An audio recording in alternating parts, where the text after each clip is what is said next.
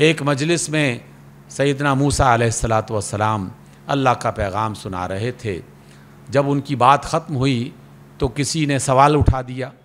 अल्लाह ताला की मशीयत न जाने किस किस तरीके से काम आती है। पूछा कि आप अल्लाह के रसूल हैं, क्या आपसे भी ज़्यादा बड़ा इल्म रखने वाला इस रुए ज़मीन पर कोई और होगा?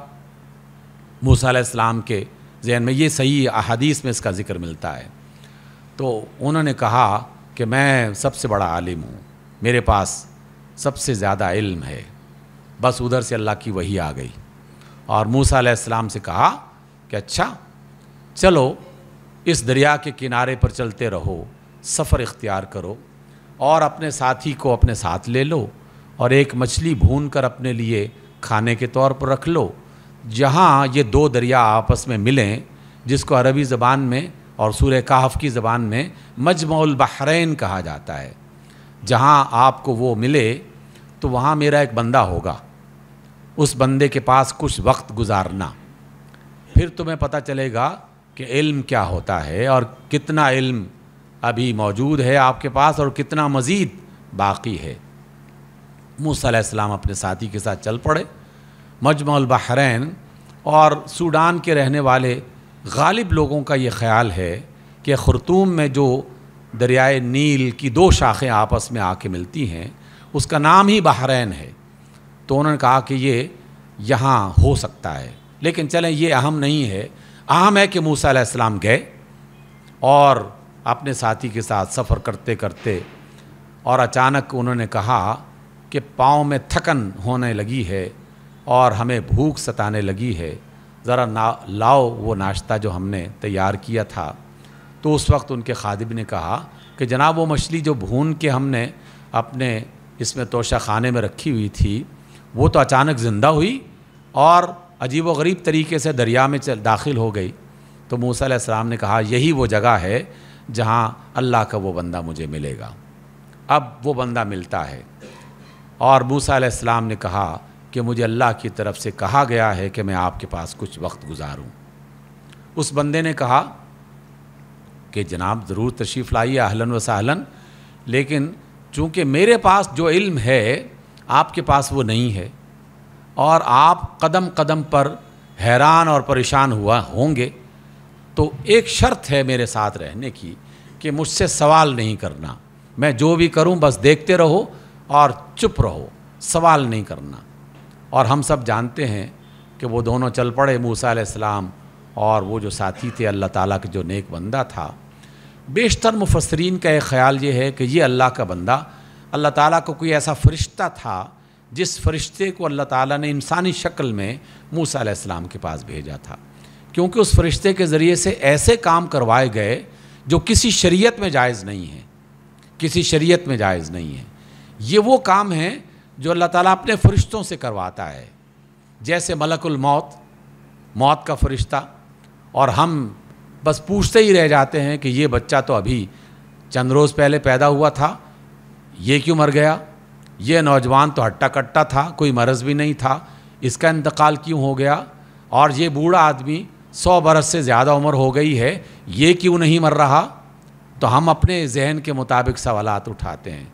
और अल्लाह का फ़रिश्ता अल्लाह के हुक्म से वो फैसले करता है कि किसको मारना है और किसको ज़िंदगी अता करनी है।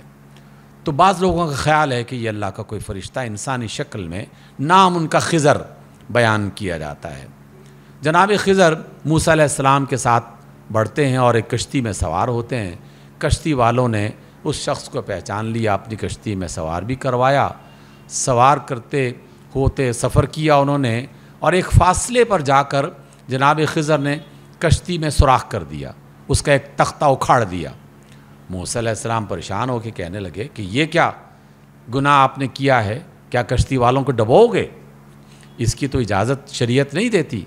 आपने ऐसा काम क्यों किया? तो जनाब खज़र कहते हैं, मैंने आपसे नहीं कहा था कि सवाल नहीं करना, बस चुपके से मेरे साथ रहो। उन्होंने कहा कि अच्छा अब नहीं करता। कुछ दूर मज़ीद गए, एक छोटा सा बच्चा खेल रहा था तो जनाब खज़र ने उस बच्चे को कत्ल कर दिया। अब तो मूसा परेशान हो गए कि ये तो सरासर जुल्म है, एक बिल्कुल मासूम और बेगुनाह बच्चा। उसने हमारे सामने कोई ऐसी गलती नहीं की कि जिसकी सज़ा उसे दी जाए। तो उन्होंने कहा कि मैंने आपसे कहा नहीं था कि सवाल नहीं करना। फिर मज़ीद आगे बढ़े, एक बस्ती में दाखिल हुए। तो बस्ती में देखा, बस्ती वालों से कहा कि भी, हम मुसाफिर हैं, हमारी कोई खाने पीने का बंदोबस्त करो। और रहने का। बस्ती वाले बड़े ही नाहिंजार किस्म के और गैर मोहतरम थे। उन्होंने कहा कि मुसाफिर हो तो रहो, हम ना तुम्हें खाना खिलाएँगे, ना रिहाइश का बंदोबस्त करेंगे। इसी दौरान जनाब खज़र ने देखा कि एक बड़ी सी दीवार गिरना ही चाहती थी कि उन्होंने अपने हाथ से उस दीवार को सीधा कर दिया। तो मूसा अलैहिस्सलाम ने कहा कि ये बड़े ऐसे लोग थे कि जिन्होंने हमें खाना भी नहीं दिया उस ज़माने की बात कि जब खाना दे ही दिया करते थे तो अगर आप इस दीवार को बनाने के लिए कोई मजदूरी तय कर लेते तो हम उन उन पैसों से खाना ख़रीद सकते थे। तो जनाब खज़र कहते हैं, जनाब, अब हमारा और तुम्हारा मज़ीद साथ नहीं चल सकता। आओ मैं बताता हूँ कि इन तमाम कामों के पीछे असल हकीकत क्या थी। पहली हकीकत ये ये थी कि जिस कश्ती में हम सवार हुए और वो कश्ती जिस रुख पे जा रही थी, वहाँ एक ालिम बादशाह हर आने वाली कश्ती पर कब्ज़ा कर लेता और वहाँ के मालिक को भगा देता और कश्ती उसके कब्ज़े में चली जाती। तो मैंने इस कश्ती को ऐबदार कर दिया ताकि बादशाह देखे और कहे कि हमें ये ऐब वाली कश्ती नहीं चाहिए, हमें तो सही सलामत कश्ती चाहिए। ये कश्ती ले कर कहीं चला जाएगा और मुरम्मत करवा के फिर अपने काम में ले आएगा। जहाँ तक ये बच्चा है तो मेरे रब ने अल्लाह ताला की तरफ़ से हमें बताया गया, मुझे बताया गया था कि ये बच्चा अपने वालदेन के लिए मुसीबत बन जाएगा। जब बड़ा होगा तो अपने वालदेन के लिए मुसीबत बन जाएगा।